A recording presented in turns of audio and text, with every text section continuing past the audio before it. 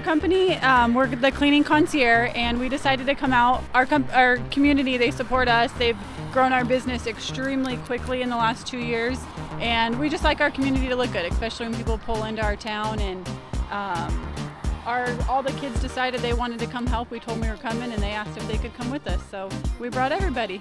Uh, we have 12 employees, and then some of us brought our kids. So we probably have about 20 of us out here. That's awesome. Thank you so much. How can people get in touch with you if they want to use your cleaning service? Um, we have our phone number, which is 928 234 8966. We also have social media. You can find us on Facebook and also on Instagram. Awesome. Thank you so much, Sarah. I really appreciate you. You.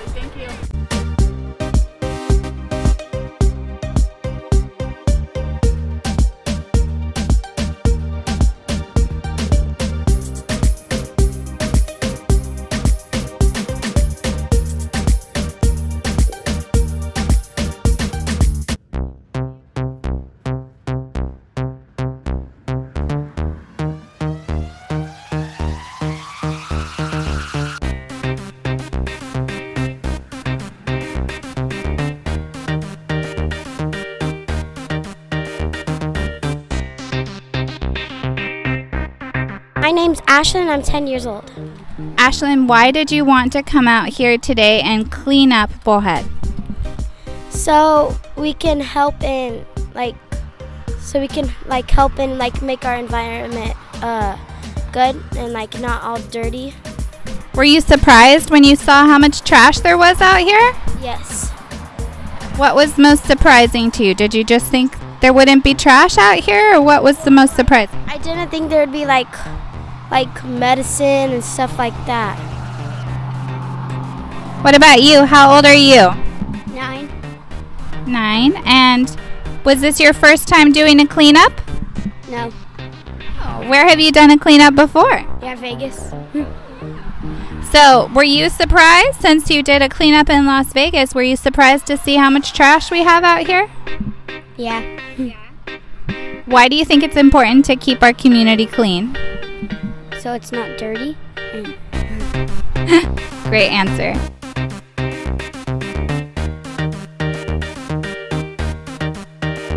What? Mister. And why did you want to come help clean up today? Yeah. How old are you? Four. Okay, what's your name? Emma. Emma. Is this your first cleanup? Yeah. I'm Connor Crawford. And is this your first cleanup? Mm, yes. So, why do you think it's important to clean up our community? Because we want to keep Arizona safe. And we want to keep Bullhead clean? Yeah. Carly Crawford? Carly, is this your first big cleanup like this? Yes. And why do you think it's important to keep Bullhead City clean?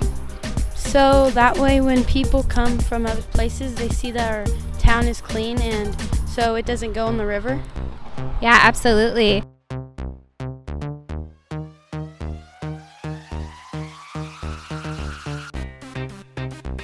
Well, I'm Elder Hansey, and I've been here just about a month.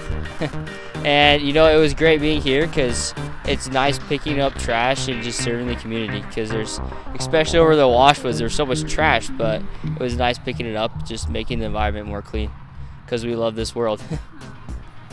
Um, I'm Elder. I'm Elder Patterson, and I've also been. Uh, I've also been here for about a month, and right along the same lines, it's just, you know, we're we're here to help out. We're here to serve, and that's kind of our whole goal here is help clean things up, help to make things a better place for everyone.